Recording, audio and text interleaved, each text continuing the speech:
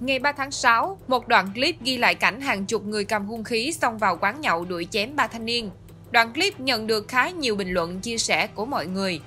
Qua xác minh của phóng viên, sự việc xảy ra vào tối ngày 1 tháng 6 ở quán nhậu trên đường Lê Đức Thọ, phường 13, quận Gò Vấp, thành phố Hồ Chí Minh.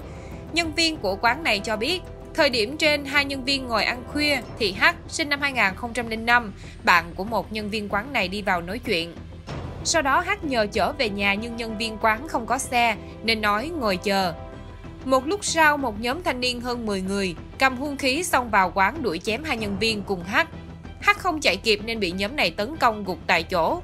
Quá trình này, nhóm thanh niên đập phá bàn ghế và lấy điện thoại di động của hát để trên bàn rồi tẩu thoát. Người dân đưa hát vào bệnh viện trong tình trạng thương tích nặng ở tay.